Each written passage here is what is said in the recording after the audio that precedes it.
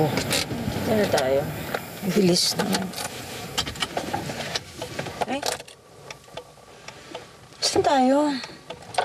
wag naman. Bakit? Ano nangyari? Ayaw mag-start eh. May problema kasi sa alternator to eh. Anong gagawin natin? Raquel, pasensya na. Alam kong kailangan mo na umuwi. Teka. Teka, teka. Hanap ako ng tulong.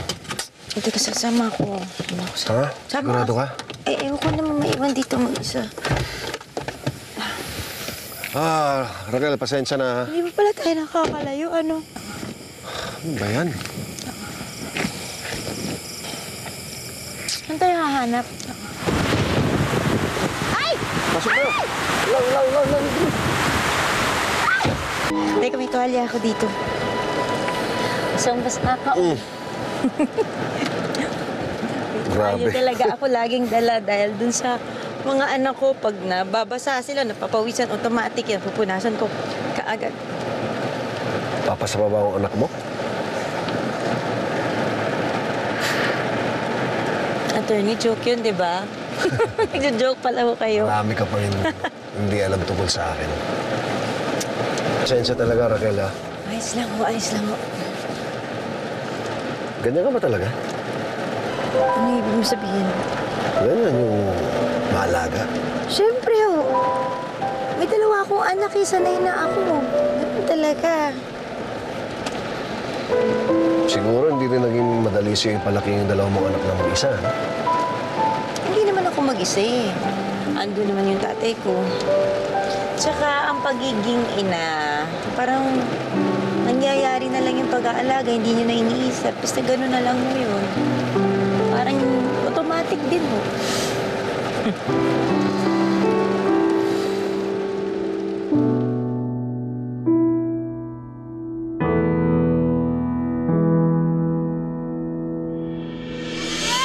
El, ano naman yan? Aga-aga, papahimikin mo yan, ha? Ano, may konting pera ka dyan, pambili lang ng gatas, Arthur. Eh, kaya naman to iyak ng iyak kasi ilang araw nang am lang ang iniinom eh. Huwag na ito natutulog ako! Problema, di pa inumin mo ulit nun. Pagod naman, titigil din yan. Nilalaki yan kung saan pinapin mo ng gatas, no? Ang damot-damot mo naman! Sige nga, ang gastos mo dito sa bisyo mo, panggatas tayo mo ibigay! Ayan, kung hindi ka talaga sa droga, magpapakalulun ka sa alak. Samantala yung pangangailangan namin, hindi mo maibigay. Dahil bila yung inuubos mo dyan sa bisyo mo. Sama! Aray!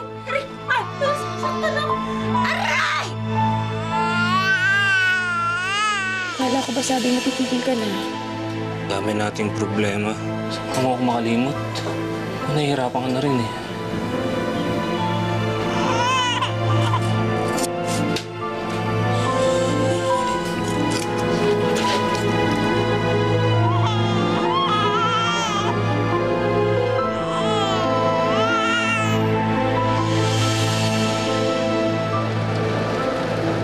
Ayos ka lang. Naisip ko lang yung tanong mo sa akin kanina. Kung talaga bang kinaya ko talaga mag-isa. Alam mo, Raquel, hindi sa pagbabola, pero maswerte si na Joseph Obit sa'yo. Maswerte rin naman ako sa mga anak ko. kayo, bakit hindi pa kayo nakasal at nag-aanak? Ay sigurado, napakaswerte siguro na magiging asawa ng mga anak ninyo sa inyo. Oo, salamat. Eh, wala eh. Siguro dahil hindi ko pa nahanap ng nahanap ni Kuya.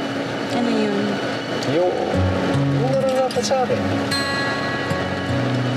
Pero alam mo, hindi importante sa akin yun. Ang importante sa akin yun, yung mapag-ayos ko yung mga pamangkin ko. Dahil yun ang pamilyang iniwan sa akin. Additional information tungkol kay Arthur Moreno. Sa pagkakaintindi ko, hindi lang droga ang kaso niya si Moreno. May panggugulo, pagnanakaw, assault. Patong-patong na kaso bakit niya nasa kulungan. Tingin ko, hindi natin mapapagkatiwalaan yun si Arthur.